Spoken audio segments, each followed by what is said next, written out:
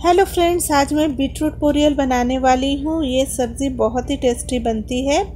और जैसे कि हम सभी जानते हैं कि बीटरूट्स में बहुत सारे न्यूट्रिएंट्स यानी पोषक तत्व पाए जाते हैं। बीटरूट में बहुत ही कम मात्रा में कैलोरीज होती है और बीटरूट में भरपूर फाइबर होता है, जिनको बीटरूट खाना बिल्कुल पसंद नहीं है।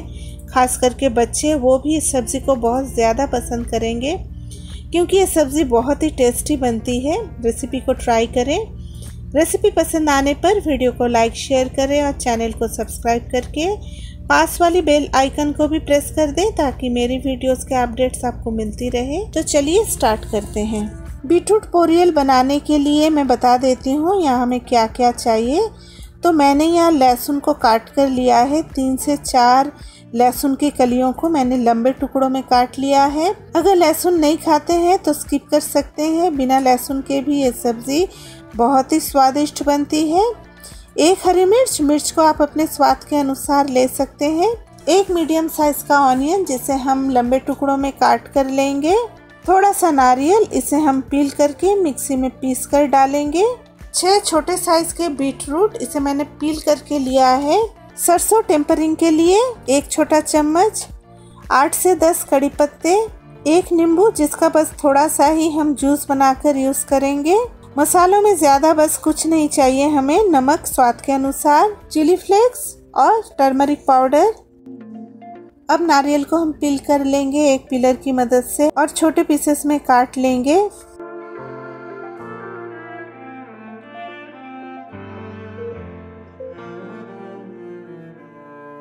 अब मैं इन नारियल को इस मिक्सर जार में डाल दूँगी और नारियल को ग्राइंड कर लूँगी।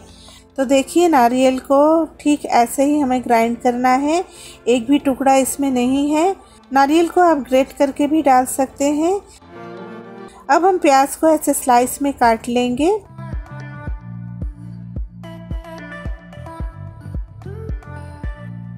अब चलिए, हम बीटरूट को तैयार कर लेते हैं। तो मैंने ग्रेटर ले लिया है।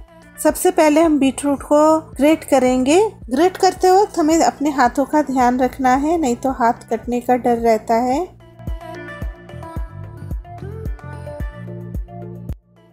तो देखिए, मैंने बीटरूट्स को ग्रेट कर लिया है। अब हम बढ़ते हैं आगे की प्रोसेस की तरफ़।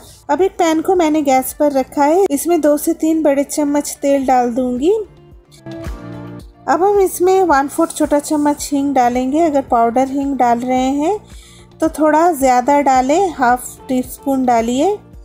अब डालेंगे आधा छोटा चम्मच मस्टर्ड सीड्स देखिए, सरसों क्रैकल हो रही है। अब मैं इसमें गार्लिक डाल दूँगी। गार्लिक को एक मिनट तक पका लेंगे। देखिए गार्लिक पक चुकी है। इसमें एक हल्का सा ब्राउन कलर आ गया है। अब मैं इसमें कड़ी पत्ते डाल दूँगी। कड़ी पत्तों को तोड़कर डालेंगे। कुछ सेकंड तक इसे पका लेंगे। अब मैं इसमें एक हरी मिर्च को काट कर डाल दूँगी। मिर्च को आप अपने स्वाद के अनुसार डाल सकते हैं, थोड़ा ज़्यादा भी ले सकते हैं। अब हम इसमें प्याज डाल देंगे। प्याज को थोड़ा नरम होने तक पका लेंगे।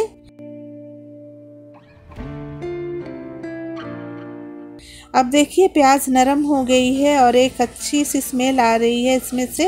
अब मैं इसमें बीट रूट डाल दूँगी। और प्याज के साथ मिलाकर तीन से चार मिनट तक फ्राई करूँगी। कवर नहीं करना है बीट रूट को हमने ग्रेट करके डाला है तो बीट रूट बहुत ही जल्दी पक जाती है।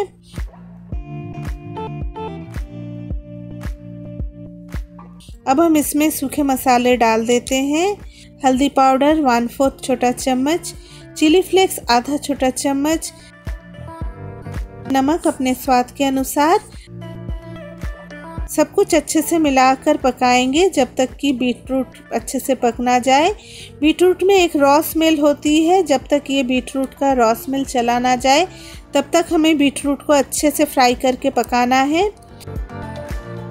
अब देखिए, बीटरूट अच्छे से पक गई है। मैंने इसे बहुत ही अच्छी तरह से पकाया है और बीटरूट नरम भी हो गई है। अब हम इसमें नारियल डाल देंगे और इसे भी अच्छे से मिक्स कर देंगे।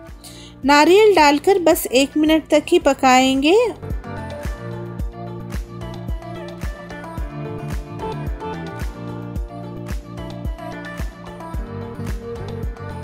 अब हम ऊपर से थोड़ा सा चॉप्ड हरा धनिया डालेंगे।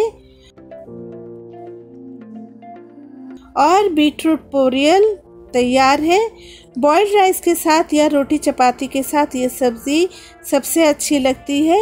रेसिपी को एक बार ज़रूर ट्राई करें। ये सब्ज़ी बहुत ही हेल्दी होती है और साथ ही साथ बहुत टेस्टी भी होती है। तो बीटरूट पोरियल बनाइए और मुझे कमेंट्स कीजिए। वीडियो को जल्दी से लाइक कर दीजिए ताकि मैं और भी तरह तरह के मज़ेदार रेसिपीज़ के वीडियोस आपके साथ शेयर कर सकूँ। वीडियो को अपने फ्रेंड्स और रिलेटिव्स के साथ शेयर कीजिए। चैनल को सब्सक्राइब करना बिल्कुल ना भूलें और पास ही में जो बेल आइकन है, उसे भी फटाफट क्लिक कर दीजिए ताकि जब भी मैं कोई नई वीडियो डालूं, आप देख पाएँ सबसे पहले तो जल्द मिलते हैं। किसी और नई रेसिपी के साथ तब तक के लिए take care and good bye